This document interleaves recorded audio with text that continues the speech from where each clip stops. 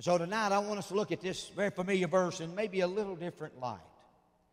And to do that, I think we need to consider the context of the verse. You see, I, I, come to I came to understand a long time ago as I studied God's Word, if I want to understand the context of a verse, what does it really mean to us? If I can kind of get an idea of what it meant to those who heard it the first time it was ever preached, the first time it was ever read, if I can get an idea of what it meant to them, then I think I can get a little bit of an idea what it means for us today. And then that helps me to not take it out of context. And it's easy to do that. And we, I, I, I, man, I preached some great sermons, but they were out of context. You know, and that's all they were, were sermons. But it's just good when we can see the context. Thank you so much. You, you didn't drink out of it, did you? Thank you. You know, we, uh, we all have quirks. And don't look at me like you know what I'm talking about. you got them too. We all have quirks. My father, one of his, he won't drink after anybody. And he never drank after me. My brother, my sister didn't drink after my mom. I got that quirk. I mean, why do we get those kind of things from our parents, you know? I don't drink. I, I, I never drank after my, my son, my daughter. I don't drink after my wife, Kathy. People say, You don't drink after your wife? I said, That's right. They said, Do you kiss her? Now, wait a minute. Kissing and drinking's two different things. Kissing's worth the risk. Amen.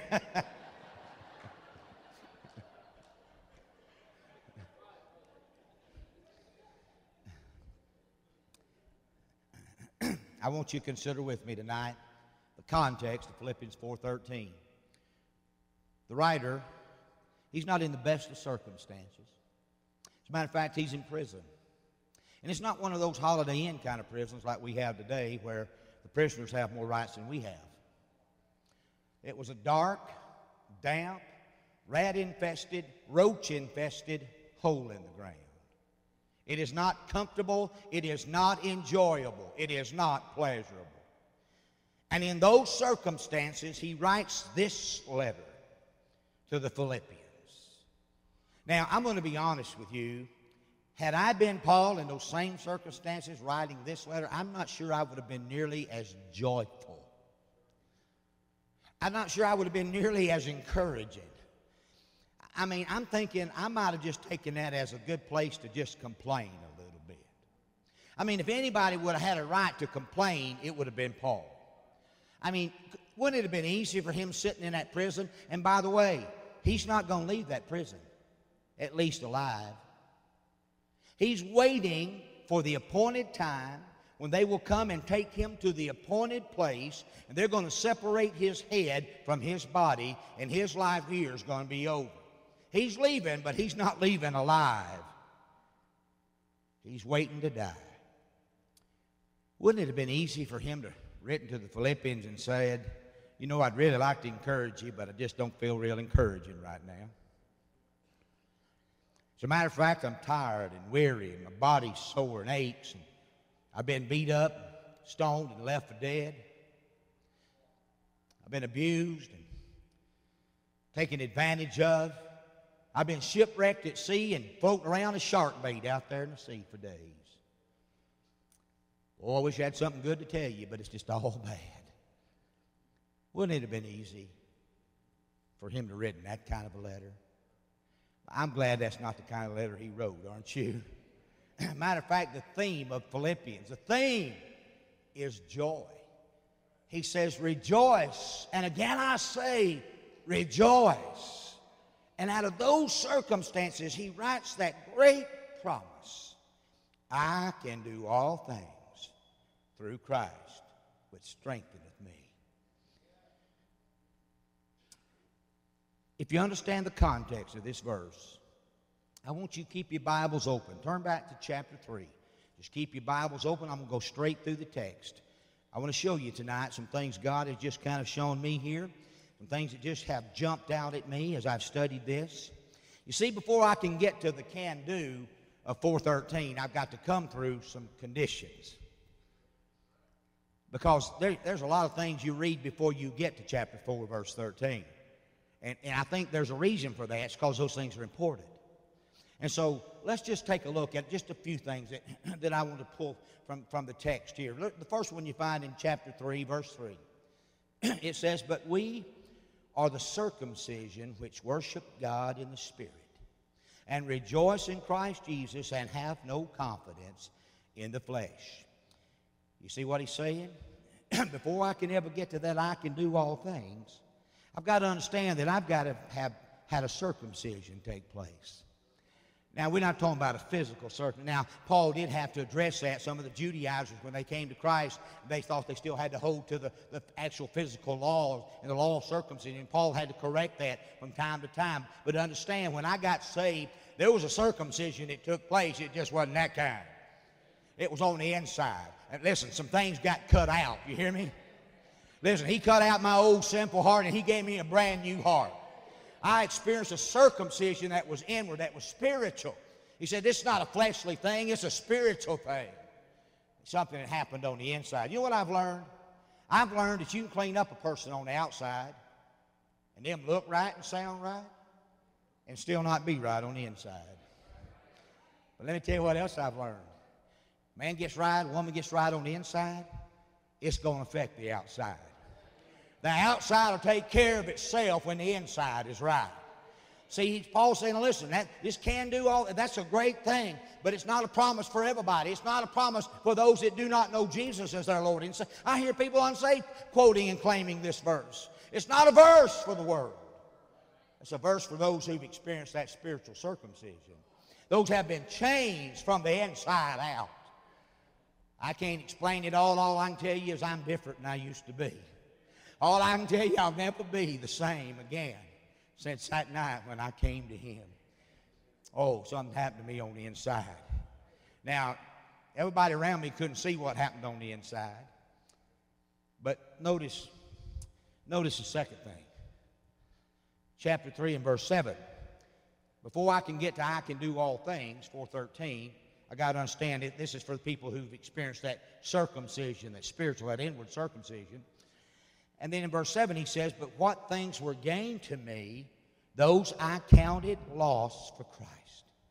So you see, you got to understand, when, when, you serve Jesus, when, when you come to Christ and you live for Him, there are going to be some things you may have to count as loss. There may be some things you got to turn loose of and let go of to follow Christ. And he says, I did this and he didn't do it begrudgingly. He did it so I might follow. I said, I might know more about him, where I might become more like him, to grow in the grace and knowledge and the excellency of Jesus Christ. He said, Some things I let, listen, Paul had everything he wanted in his day as far as possession. Listen, many believe he was a, a, Pharisee, a member of the Sanhedrin, was the highest, the elite of the religious society of Jesus' day. He had all the possessions he desired.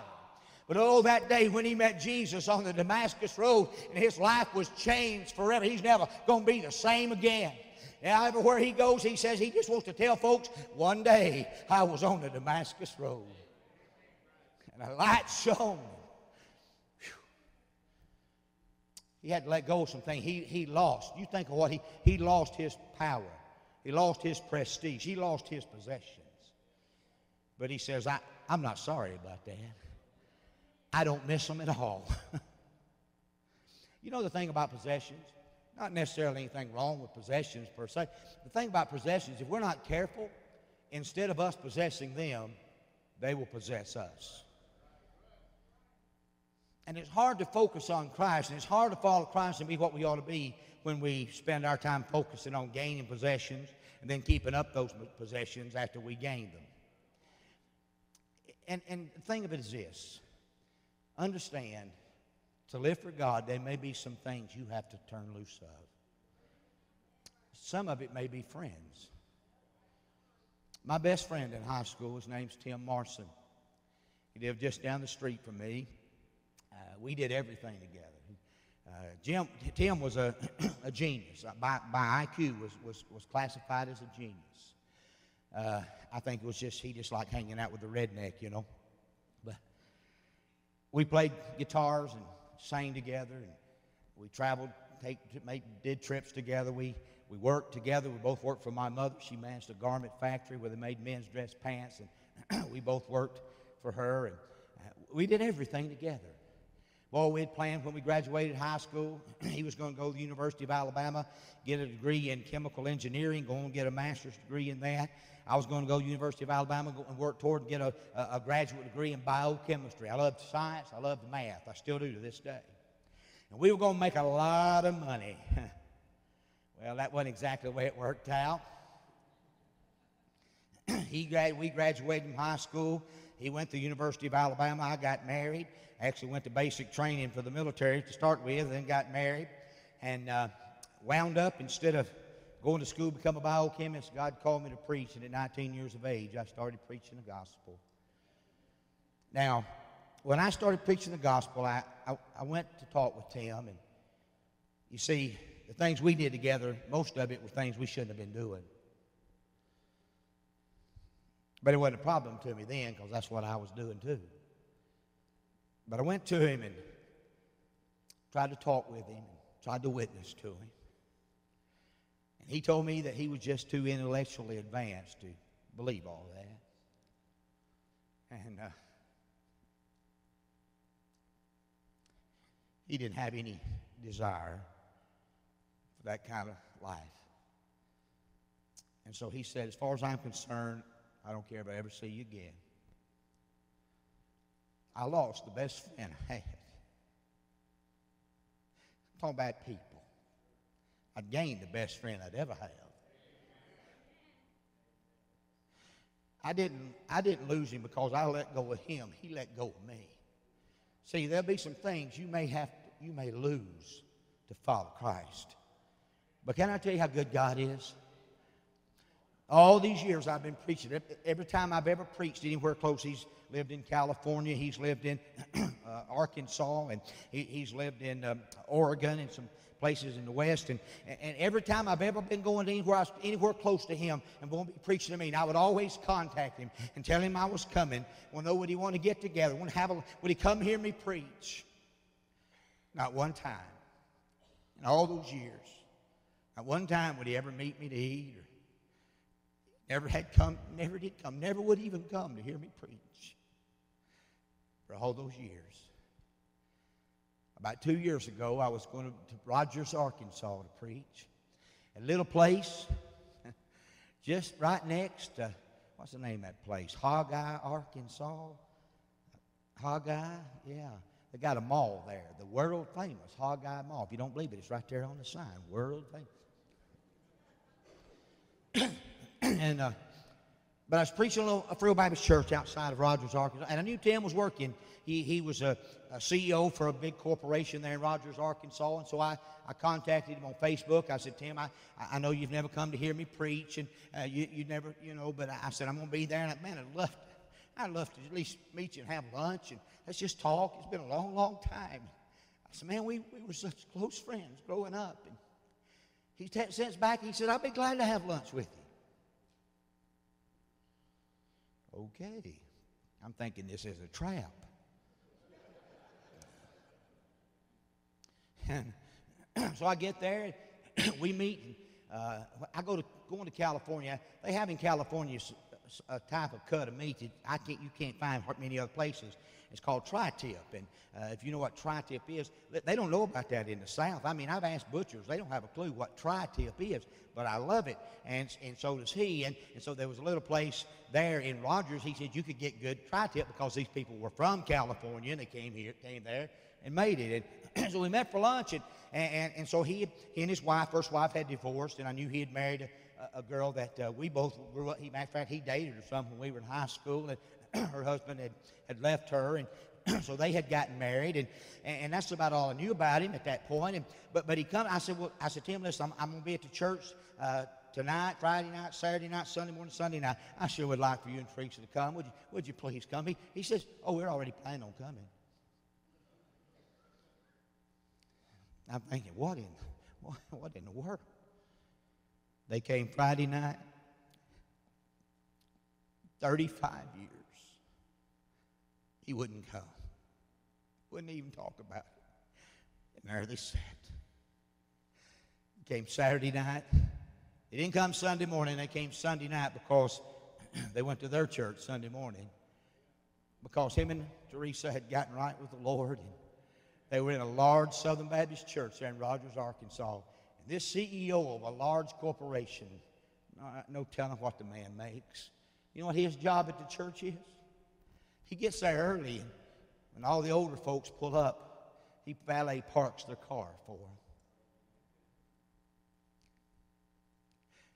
Not long after that, we had our first big conference in Branson, Missouri, just like the one we're going to have in Pigeon Forge coming up a, a week from tomorrow. A church revitalization thing. They, they were several hours from Branson, Missouri. He found out about it. He said, we, We're coming. I don't know if you met him when, while you were there uh, or not, uh, uh, Josh, but he and his wife Teresa, they drove there. They came to the Monday night service, drove home got in late, got up early. Both had to be at work. They drove back Tuesday night to be in the service where I preached, and then had to go home like that night and be back up early the next day. He came up to me after I preached on that Tuesday night. He hugged my neck, and he said, Thank you that you kept asking me. He said, Because I could never get away from that. He said, You've become the man I want to be. I always looked up to him. I mean, he was the smart one, you know. He's the genius. He's the guy making all the money. He said, Thank you. You see, don't you understand something? Sometimes you may lose some things that God may let you have back when you're serving Him. I like that I can do all things part. But before I can get to that, I got to understand it's for those who, who've experienced a circumcision, something that's happened on the inside, a spiritual change. It's for those that have counted some things lost that they might know the excellency of Christ. Look in verse 10. That I may know him and the power of his resurrection, the fellowship of his sufferings, being made conformable unto his death before I can start claiming I can do all things, I've got to make myself, I have got to be conformable to his death. Now, what does that mean? Well, you see, the world, that, thir- that, that Thursday night when Kathy and I went to that altar and we got saved, I mean, it's something, we changed forever on the inside. We were never going to be the same. Listen, we got a hold of something that night and we've never been the same since. But the world couldn't see what happened on the inside. So God gives us a way to show the world what happened on the inside. It's called baptism. Now, baptism, you you're not baptized to be saved, you're baptized because you are saved. It is the first step of obedience after salvation. What baptism is, it is show, us showing the world in an outward symbol what's happened to us on the inside. Well, you see, when I stepped into that baptistry, down into those waters of that baptistry, when I, the preacher got a hold of me, when he laid me down, he put me under the water. Listen, I identified my, I'm telling the world, I have identified myself with the death and burial of Jesus Christ. I have taken my part with him. And then when that preacher raised me up out, I'm telling everybody, I'm letting the world know I now have risen to new life in him, just like he rose the third day. I've been made conformable to his death. Taking my part. Let the world know that I died to self. I died to sin. I died to the flesh. And I have risen to new life in him. But there's more. We, we still can't get to that can do part yet. I, I promise you, I'm headed that way. Look at verse 20. For our conversation is in heaven, from whence also we look for the Savior, the Lord Jesus Christ.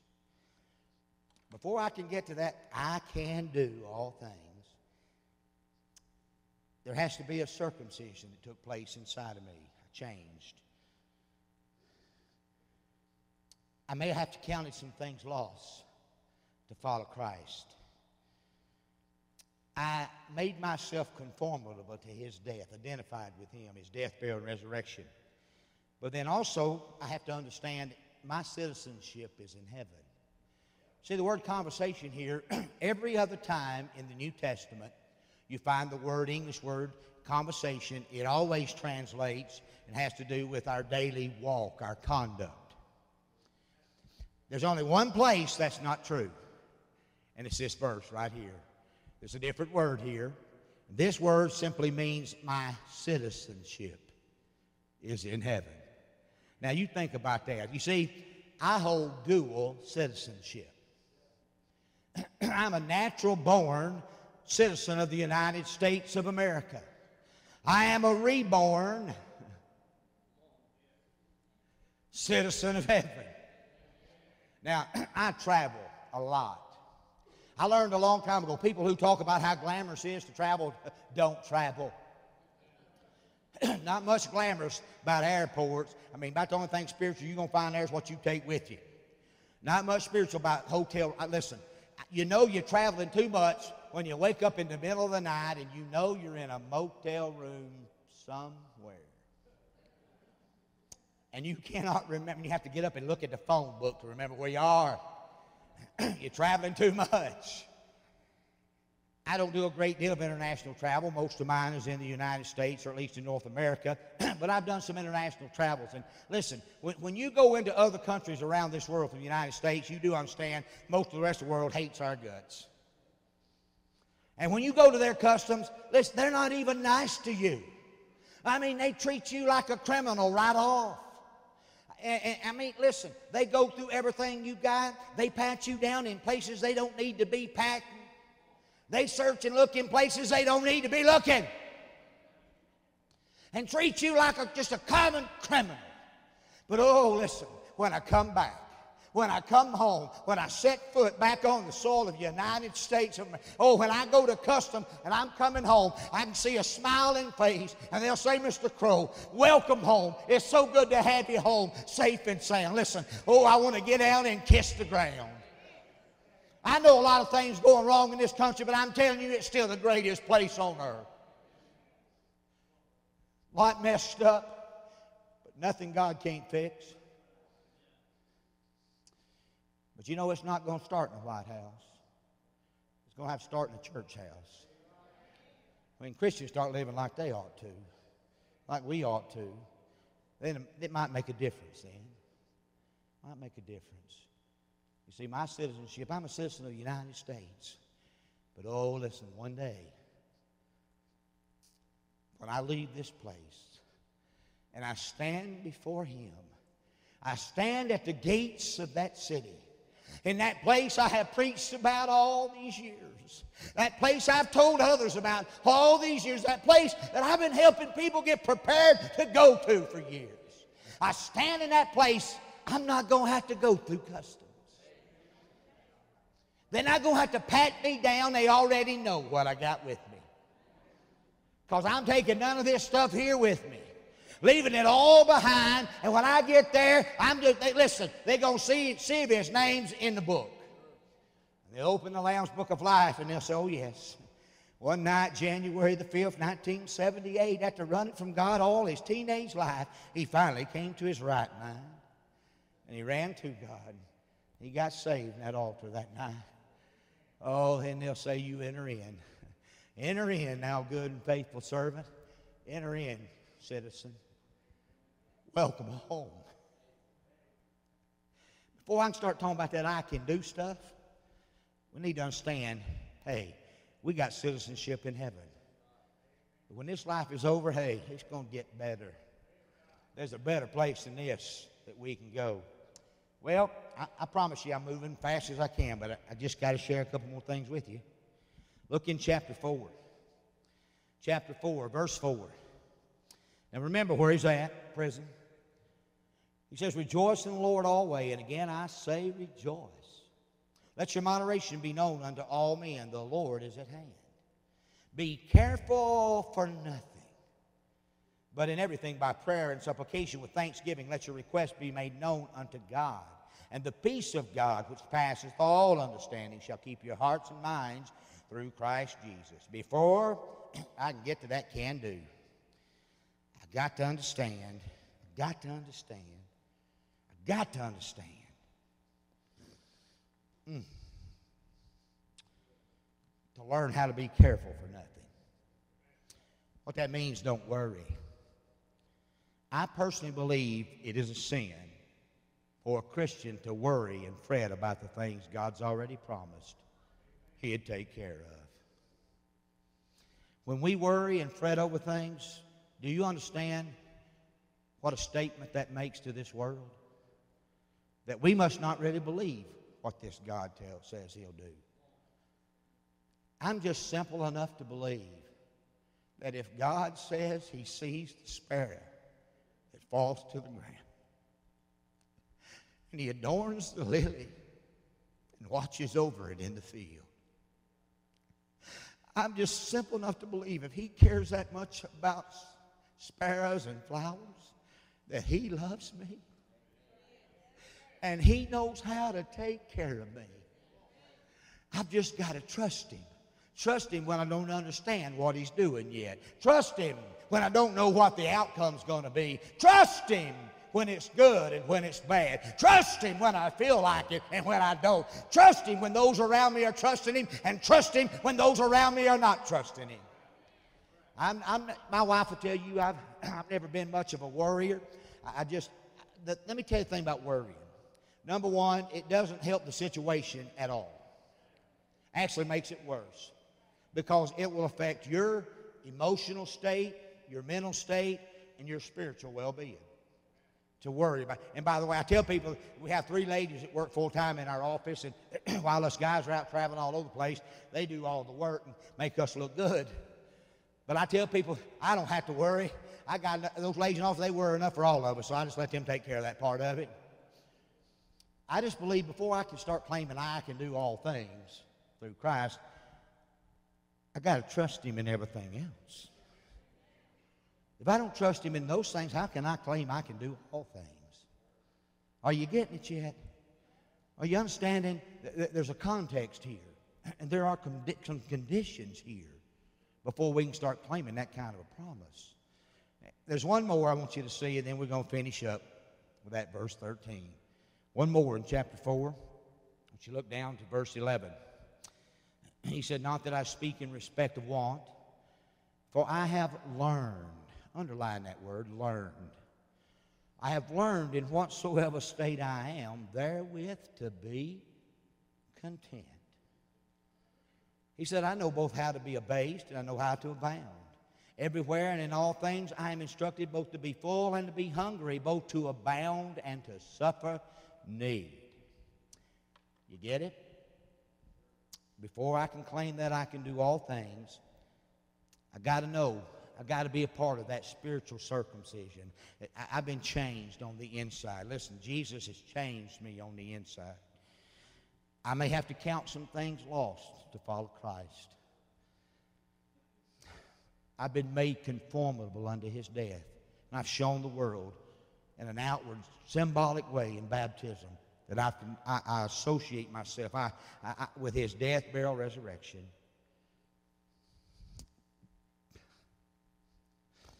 I'm a citizen of heaven.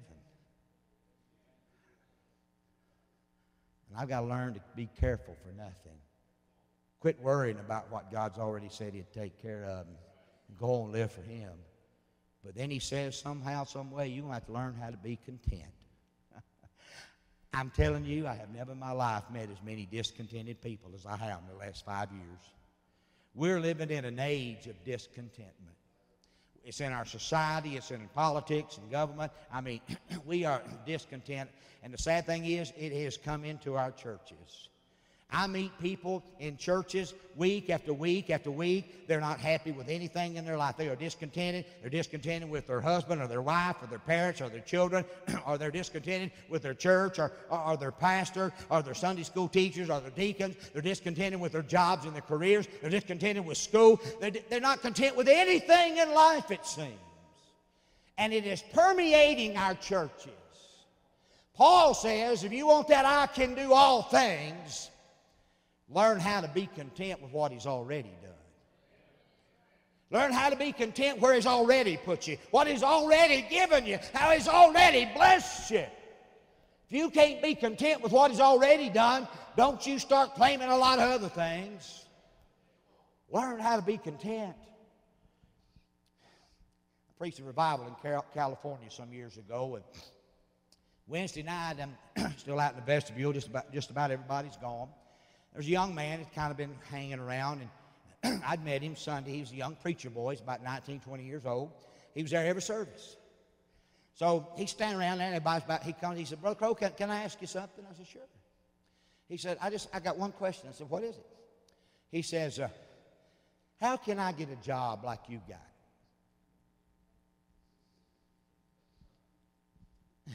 I said, What do you mean?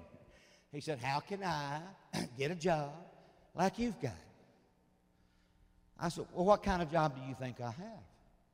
He said, You got the greatest job in the world. I said, Really? Why do you say that? He says, Listen, you get to travel, you get to travel all over the place, and, and oh, and, and again, it's not glamorous. I assure you. He said, You get to go to all these places. He said, You get to eat in all these nice restaurants. And I'm thinking, Yeah, that's killing me one spoonful at a time. and he says, You get to do preach and, and, and be in all these, and, and help and encourage so many people, see people say. He said, And you get paid for it. You got the greatest job in the world. He said, How can I get a job like you've got? I said, You really don't know. He said, Yes. I said, Go get a pad of paper and a pen, a pencil, you come back. He runs, he gets a pad of paper, a pen, he comes. I said, sit down right there. He sits down, so I write this down. I said, go to Winfield, Alabama. That's W-I-N-F-I-E-L-D. He looks at me, I said, write it down. I believe there's, isn't there Winfield, Kansas? Have a big bluegrass deal goes on there every year. Yeah. this is not Winfield, Kansas. I said, write down, go to Winfield, Alabama. now write this down. Find the main traffic light. I said, it won't be difficult. There's not that many. When you find the main traffic light in Winfield, Alabama, I want you to go north one mile. And north one mile from that main traffic light, there'll be a nursing home on the right side of the road. I want you to pull into that nursing home and park. He's looking at me. He stops and write it down. I said, I want you to go inside, ask to speak to the program director. And when you speak to the program director, you tell him this. So I'd love to start coming here on Sunday mornings. I'll come every Sunday morning. We want to have a, a, a church service here for the folks in the, all the ones that can come and want to come. we want to provide a service for them. And so when can we do it? So when, when you get that schedule and they set that up and they give you a time, I said, then what you do, then you every Sunday you go and you have that service and you preach to those folks in that nursing home. He's riding, riding. He finally gets caught up and he looks at me. He said, What else? I said, I don't know. He said, looks at that and he says, How's this going to help me get a job like you've got? I said, I don't know that it will, but all I know to tell you is this that's the first place God gave me to serve. I said, when I answered the call to preach on Thursday night, my pastor sent me to the nursing home the next week and said to set up a service. They weren't having one on Sundays. So Kathy and I went and we set up a time, and I said, Young man, every Sunday morning we went to the nursing home. And every Sunday morning we'd play the piano or the guitar, we'd sing with those folks. And they'd come, sometimes 50, 60 people would come, and some of them could walk in with walkers and canes, and some of them had to come in in wheelchairs, even some of them they rolled them in on beds. I said, but we came. We went every Sunday. We went. We played and sang. Uh, I, I opened the Bible and I preached God's Word Sunday after Sunday after Sunday. I said, young man, many times half of that crowd or more would be asleep for the whole thing. And I said, the ones that were awake, you weren't sure if they with you or not. I said, but it probably prepared me to preach in Free Will Baptist Church about as good as any preaching I could have done. Because it helped me, helped me to understand you preach whether anybody amens you or not. You preach whether anybody's awake or not. You preach whether anybody responds or not. You preach because God said, preach the word. I said, young man, what I'm trying to tell you is this. That's the first place God gave me and Kathy. God trusted us. He trusted us to go and those dear precious folks, many of them that had been in church all their life till they got in the nursing home and now could no longer physically attend church, but to give them an opportunity to still feel like they could come to church. I said, when God saw He could trust us with that, guess what He did? He gave us some more to do. And when he saw he could trust us with that, I said, Son, he let me pastor one of his churches. I said, Can you believe it?